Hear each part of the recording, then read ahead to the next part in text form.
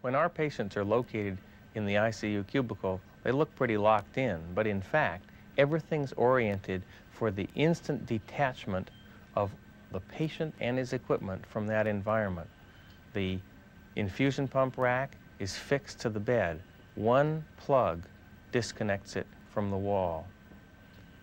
The monitoring equipment is fixed into the power, col power column, but one module can come out and be attached to a laptop-like display to provide perfect monitoring anywhere in the hospital for that patient.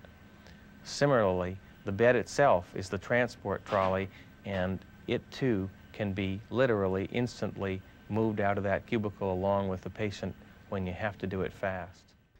One of the truly unique technologies in this ICU is our infusion racks, which are mounted directly on patient bed.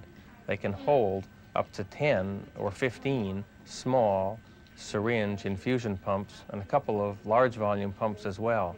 All the electrical outlets are mounted to the top of the rack and only one cord has to be connected to the unit itself. When the patient travels, all the infusion equipment goes along with him and can be downloaded onto a special stand wherever it is you're going to.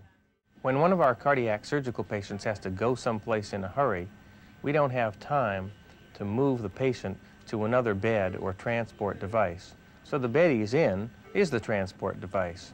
Similarly, you can't afford to stop vital signs monitoring, stop drug infusion therapy, or stop respiratory therapy just because the patient is in the hallway. We believe our system allows all those vital functions to continue in a safe and uninterrupted fashion, no matter whether the patient's in the ICU cubicle or out on transport.